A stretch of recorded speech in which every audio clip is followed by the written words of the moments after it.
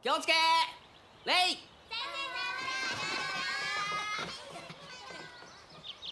リカ今日の部活でございますけど。知恵。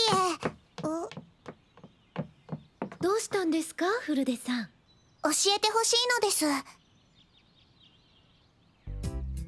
この問題はね一見複雑に見えるけどこっちの公式を使うと授業が終わったのに勉強なんて健全ではございませんわ。リカちゃんどうかしたのか？受験勉強ですのよ。え？さすがにまだ早いんじゃないかな。私も言いましたわ。志望校はどこなんだ？ミオンと同じ沖宮の学校か？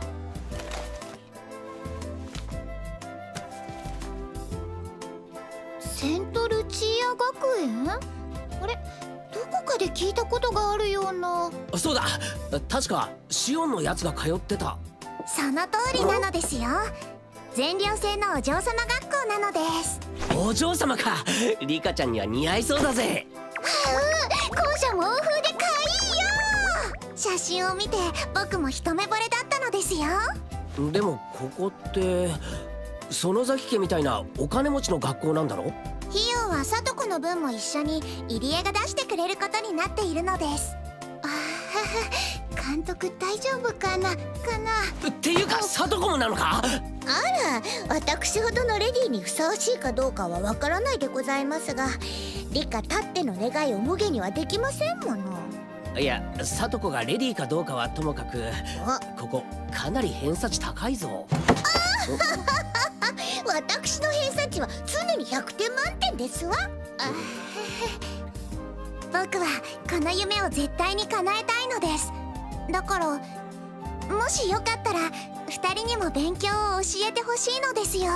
そんなのお安い御用だぜ。うんレナたちでよければ何でも聞いて。圭一にもレナにも助けてもらってばかりで申し訳ないのです気にするなって。俺も進学校にいた経験をやっと役立てることができるからな。ありがとうなのです。聡子も鍛えてやるから覚悟しておけよ。私はほどほどでよろしくてよ。よしそうと決まれば今日の部活はエンドレス英単語しりとりだ。あーあーなのです。よしやるか。理科の勉強ごっこもどうせ今だけですわ。